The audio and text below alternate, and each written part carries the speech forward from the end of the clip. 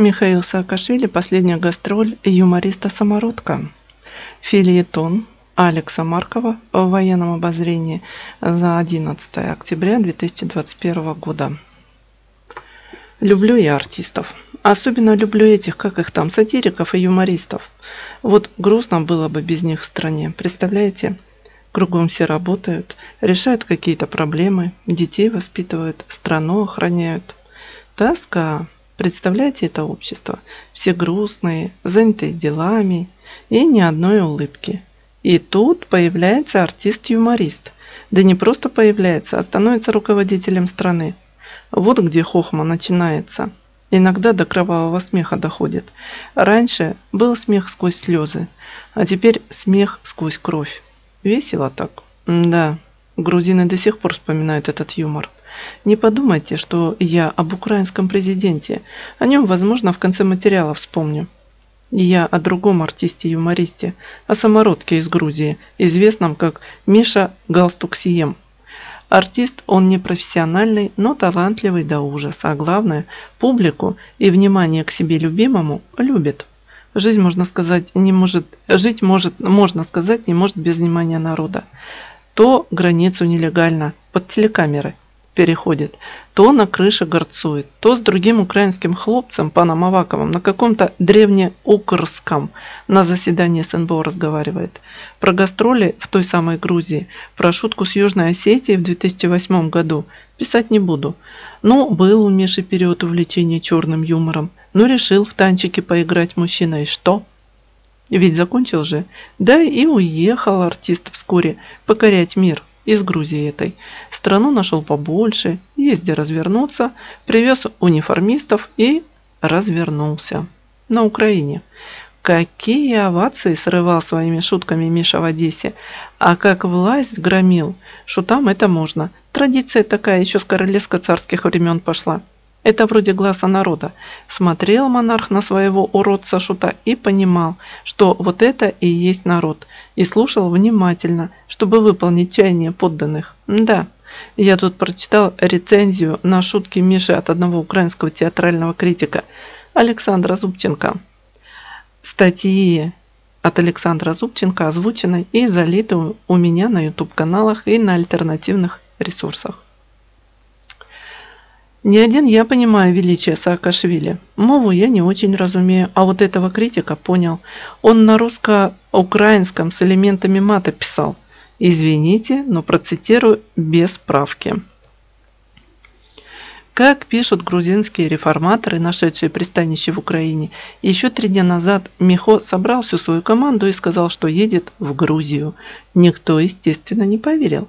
Каждый год Саакашвили выкладывает в сеть скрин своего авиабилета в Тбилиси, и каждый раз все с огорчением констатируют «сидит, блин, в своем офисе простых решений». Но это все старые шутки. А вот последняя очень долго репетируемая, действительно выдающаяся. Сколько галстук Сием показывал украинцам и всему миру билеты в Тбилиси? Покажет и сидит на даче у любовни, тьфу, у новой жены. Шашлык-машлык кушает, сипирави литрами попивает. Как Миша прорвался в Грузию. Рэмбо отдыхает. Темной ночью на спальном месте водителя-дальнобойщика под запах родной чачи.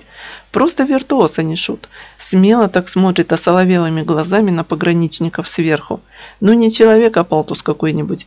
А пограничники грузинские, наверное, из рода пень-пню. Даже не узнали мировую звезду. Хотя, может и глаза палтуса из морозилки их смутили. Многие просто не доросли до глубины юмора Миши. Но не понимает народ, что на самом деле шут – это пионер, в смысле скаут. Короче, первопроходец, который прокладывает путь для других. Не хватает интеллекта ощутить величину сатиры и глобальность юмора. Человек, можно сказать, прокладывает путь для других таких же весельчаков. Жизнью своей рискует, например, для Зеленского. Почему именно для украинского вроде президента – Опять же, читаю рецензию Зубченко, пишет критик украинец об Украине. Как он, Миша, примечание автора, тот всех достал со своими реформами, хинкали и прочими чебуреками. Только где-то далеко в конче заспи заплакала Лизонька Ясько, переворачивая на, сковород... на сковородке с антипригарным покрытием подгоревшие сырники. Михо очень любил с утра покушать сырники, шашлыки, яичницу, майонез, прочие веганские блюда. Нет, просто непонятно, почему народ не видит подвижничества грузинского юмориста. Помните, как он когда-то поступил с телеканалом «Имеди»? Точно так же, как псевдопрезидент с некоторыми украинскими каналами. А что было дальше? А власть-то не вечна, и расплата приходит за все, что ты сделал, будучи главным. И за поруганную свободу слова, и за репрессии в отношении политических противников, и за отжатый бизнес, и за пытки заключенных – Помните, как это было с, у галстук Сиема? Кто рассказал правду о том, как громили этот телеканал? Бывший министр обороны Грузии сдал своего шефа с потрохами. Вот и украинскую власть ждет то же самое. Будут валить друг друга на следствие, спасая собственную шкуру. А как красиво Миша показал, как поступают американцы с теми маврами, которые сделали свое дело. Сунулся в США ему отворот-поворот. Иди, иди, ничем не подаем. И ведь пошел болтаться по Европе, то там его видели, то сям, и везде чувствовал, что позади попахивает жареным. Украина стала последним прибежищем, но и там стала попахивать. Как-то странно видеть то, что другие видеть не хотят. Пример судьи Чауса ничего не научил. Спрятаться можно было только в США, как это вовремя сделал Яценюк. Переждал бурю и теперь выполз из политического небытия. У галстук Сиема не получилось. У Зеленского тоже, как я понимаю, не получится. А в других местах найдут, из-под земли выкопают и, возможно, опять закопают, но потом. Возможно. Пока раздумывал о судьбе актеров от политики или политиков из актеров, пришла довольно странная мысль об актерстве вообще – Почему современные актеры лучше играют бандитов, наркоманов, каких-то преступных авторитетов, э, авторитетов, чем нормальных, хороших людей? Почему актеры лезут в политику, высказываются о том, в чем совершенно не разбираются? Время, что ли, такое сейчас? Весь мир театр. Вспомнил тут видео ареста звезды. Веселый человек. Шагает, покачиваясь при заботливой поддержке полицейских. Улыбка до ушей. Хорошая чача была, наверное. Или грузинскую чачу с русской водкой смешал, чтобы потом можно было сказать, что Россия приложила руку к аресту. А последняя рюмашка как здорово прошла, как по маслу, булькой нету водки русской. А что? Весело же получилось. И группа поддержки Шута уже озвучила эту версию.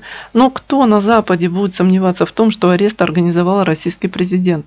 Мне тоже понравился новый термин «русско-грузинская тюрьма». Век живи, дураком помрешь.